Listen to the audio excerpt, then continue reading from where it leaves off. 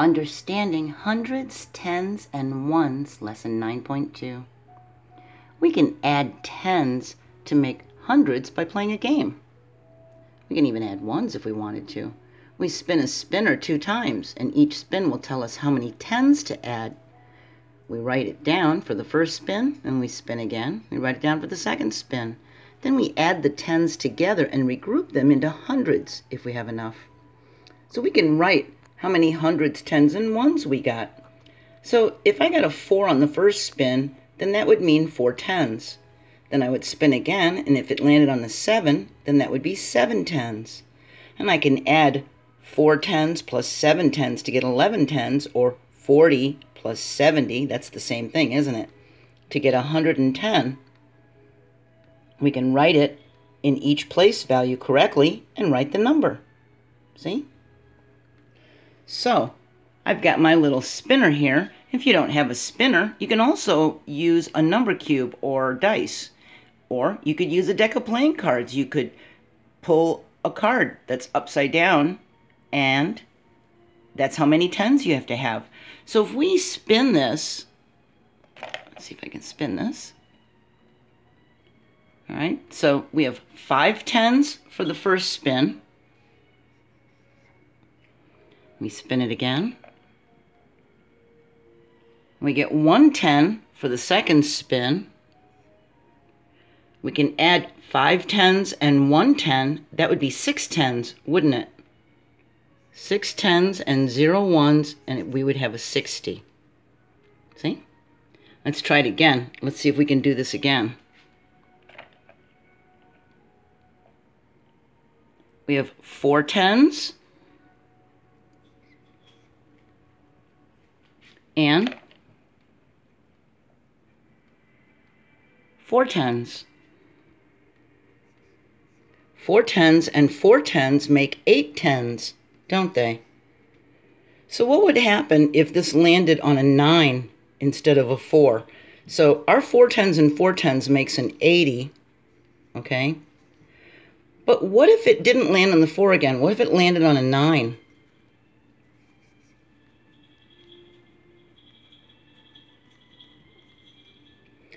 4 plus 9 is 9, 10, 11, 12, 13.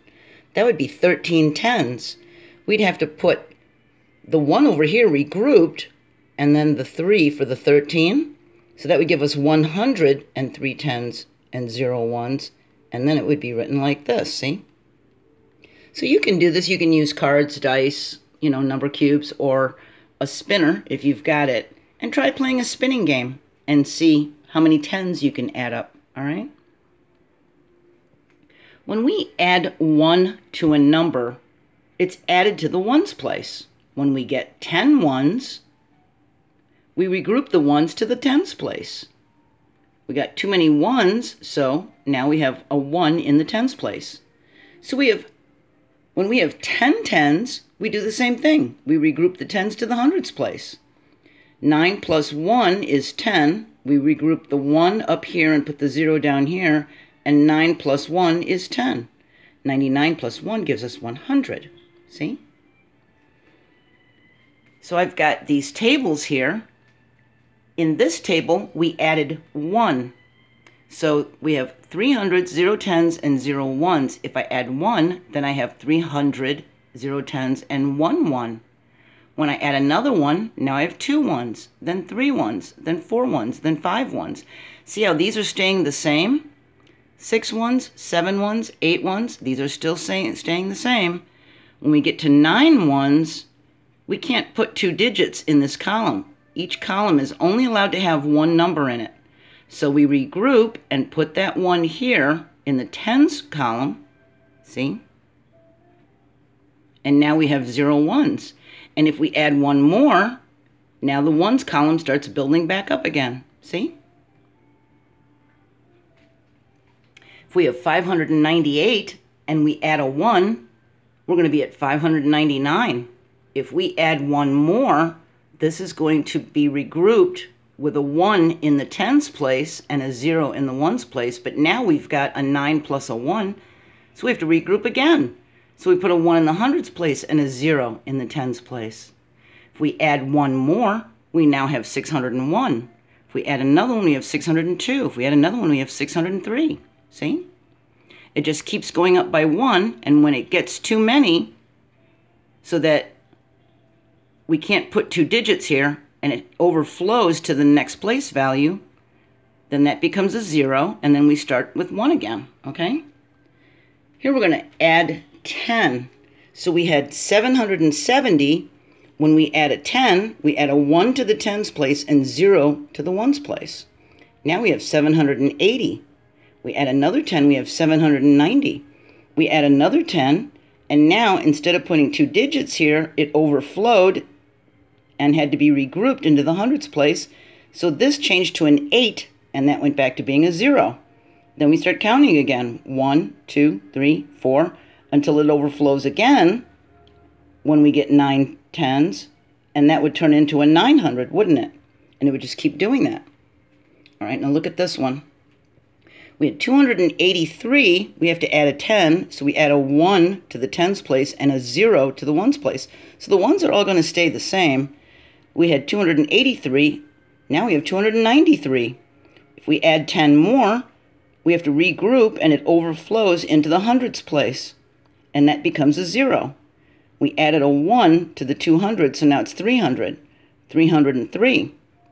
We add one more 10, now it's 313 and then one more 10, it's 323. See? And the pattern starts all over again until it gets to 9 again, and it overflows, and then that would turn into 400.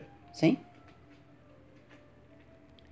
So if we're adding 1, and we have 100, 200, 300, all right, let me stand back a little bit. We've got 300 here. We've got no 10s, and we've got five, six, seven, eight, nine ones, if I added one more to the ones place, if I added one more to this ones place, what would happen is we would make a long of 10, wouldn't we? It's not the prettiest long, it's all crooked, but that's a 10. And we can actually move it into the tens place. It's going to ruin my lines, but that's okay. Right. So now we have 110. See? Once we got enough ones to make a 10, we can move it to the tens place. So now we have 310, and see there's no ones. If I add one more to this, well now I've got three hundreds, 110, and 1 1, so I have 311. See? Let's take a look at this one. Right here, we're going to add 10. We have 100, 200, and we have 5, 6, 7, 8, 9 tens, and 3 ones. We have 293. If we add a 10 to this, if we take one of these longs of 10 and, and add it here, we could take these 10 tens and move them to the hundreds place. Three, four, oops, five, six, my arms aren't long enough to show you, seven, eight, nine, and then the last one when we put all these together, see, it makes 100. Now we have 100, 200, 300 because we moved these 10 tens from over here because it was too many. We moved it to the hundreds place. And we've got 303. See, there's no tens. We have 303. If I add one more 10, well, then that would go into the tens place, and now we would have 1, 2, 300, 110, and 3 ones. We'd have 313. And then I could keep adding tens to here. And when I got 10 of them, I could put it over into the hundreds place. See? We can just keep redoing that, right? Every time it overflows because we can't have two digits in one place value. All right? So we're going to keep talking about understanding three-digit numbers in the next video with hundreds, tens, and ones. Okay? See if you can play this game of adding tens and seeing if you can regroup them into hundreds. Okay? I'll see you next video. Bye.